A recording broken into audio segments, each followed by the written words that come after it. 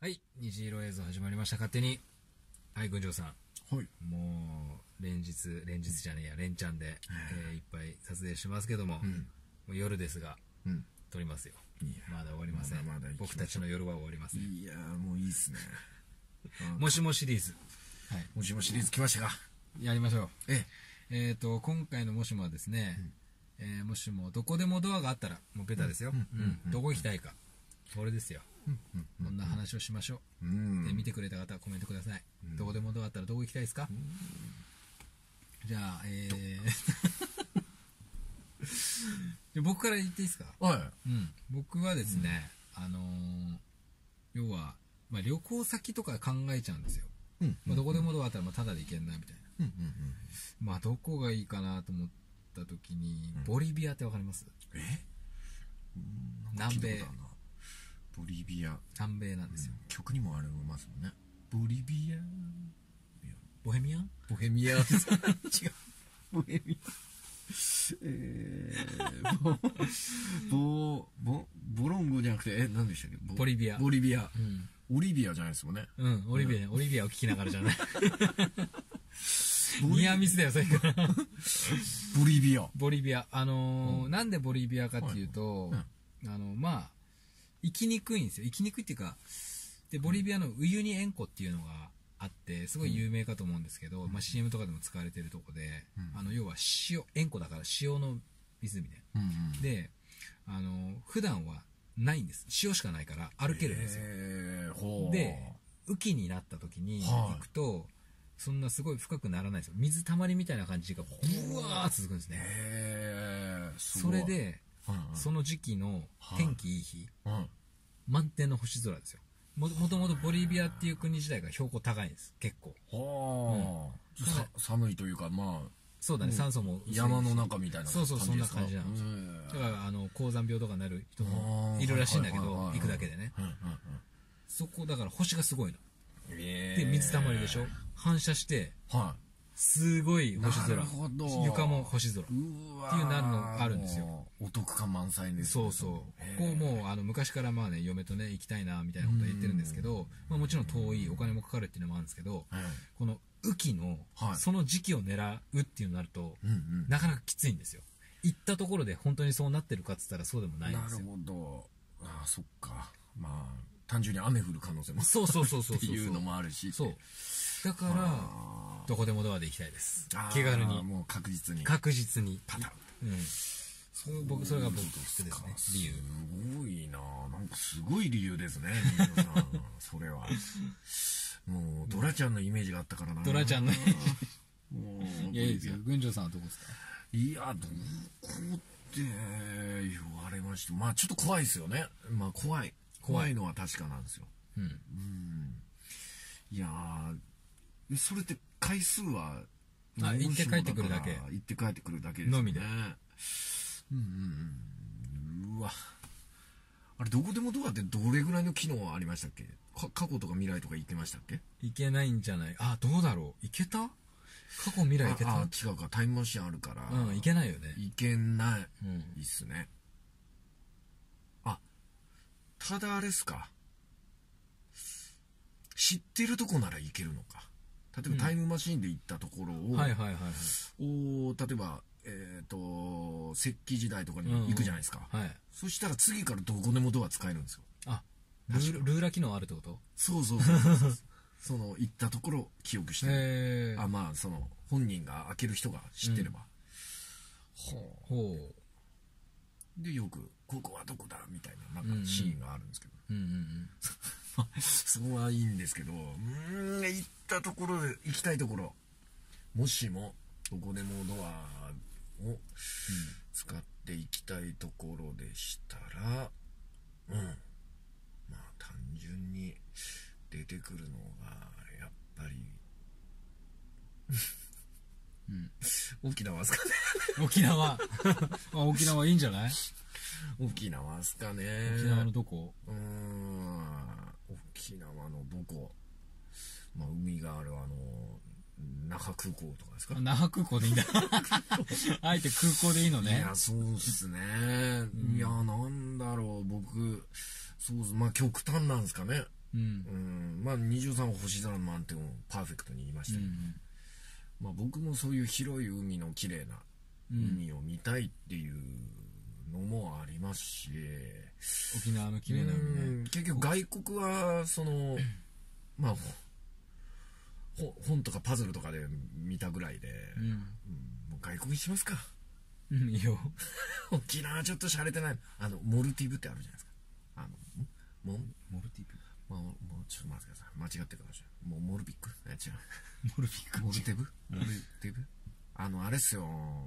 ななんだだからな。そうそれこそさっきと同じ話ですよ。お城があって。はい。えーっとすなんか湖みたいのあるんですよね、うんうんにお城が反射するっていへえうなんかライトアップかなんかで。ほうほうほうほで素敵だねーっていうパズルを一度買って。ううん。いつか行けるようにうんと思って。全然できない。まだできないだからもう二条さんパズル好きって言ってたんでもうそのままあげああげようかなと思って。そう好き。最新のチェックしてんね。う。んチェックして動画で見見見たんですよ。何ピース？えー、っといやピース自体はあんまないんですけどなんかちっちゃいんですよね。うん。なんかありません？うん。俺これ安いなって言って、はいはいはい。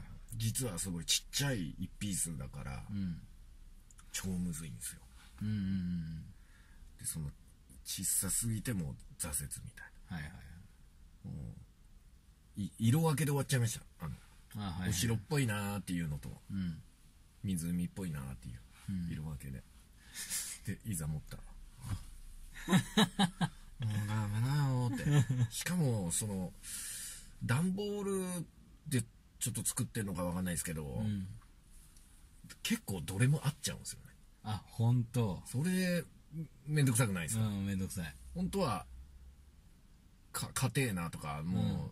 パチってあのはまる感じあるじゃないですか、はいはい。パズル。それがなくて、うん、なんか答えがない感じがもう見えてきて。はいはいはい。もうもう大体大体みたいな。うんそして後であーなんか違うような気が。